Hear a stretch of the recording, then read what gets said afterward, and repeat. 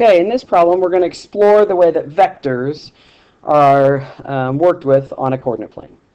And so the first thing we're going to do is find the coordinates of AB. And so I've graphed AB. And so the vector AB is just the vector starting at A, which is what we refer to as the initial point, and ending at B, which is what we call a terminal point.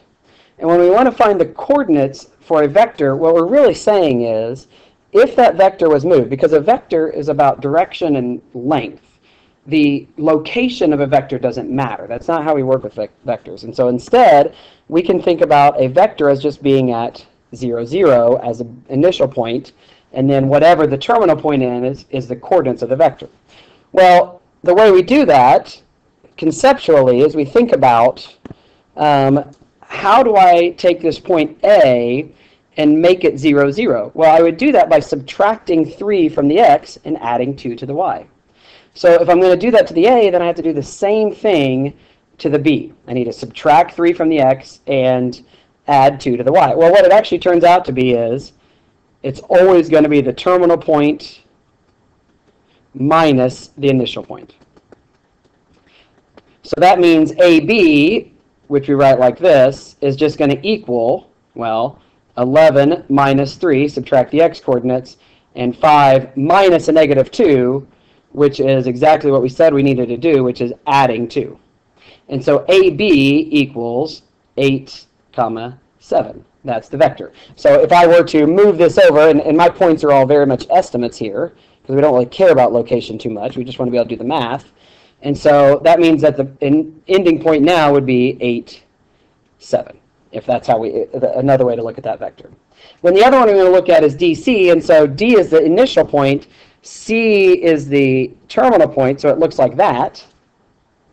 And I think it's useful to see this because when we move this over, we know that it's in the third quadrant, so our x should be positive and our y negative.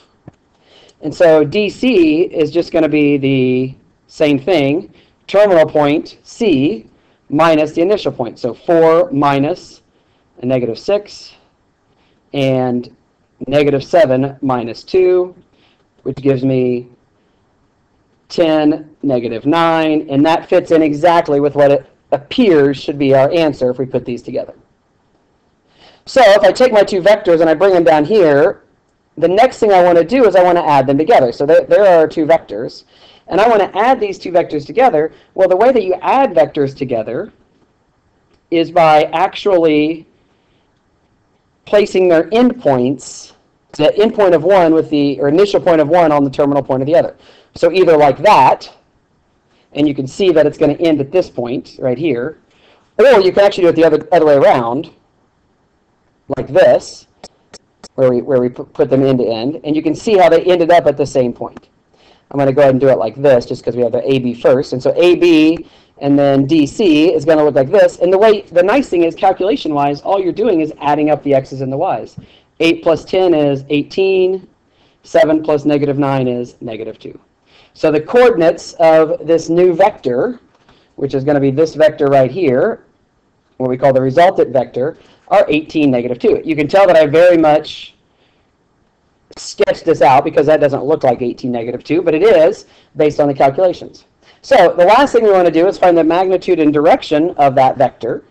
So that means finding this angle, that's the direction, and then finding the magnitude is just the length. Well, the length is the easiest because the length it just turns out to be the um, Pythagorean theorem where 18 is one leg and 2 is the other leg.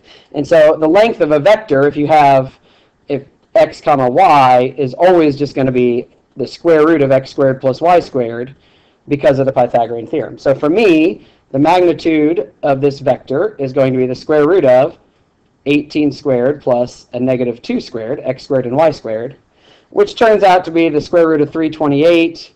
And we're going to round to the nearest hundredth on this, and so we take the square root of 328, and we get 18.11, or approximately 18.11.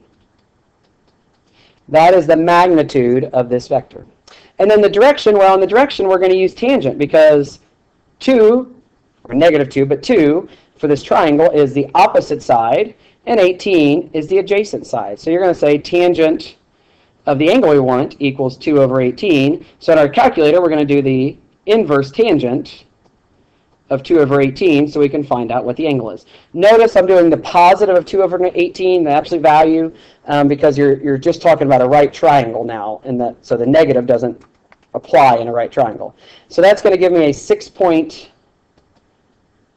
6.34 degree angle. It's south of what we call east, and so it's 6.4 degrees south of east. Because we think about it north, south, west, east. This angle is below the east, so it's south of it, um, and so we call it south of east. So the magnitude 18.11 and the direction 6.34 south of east.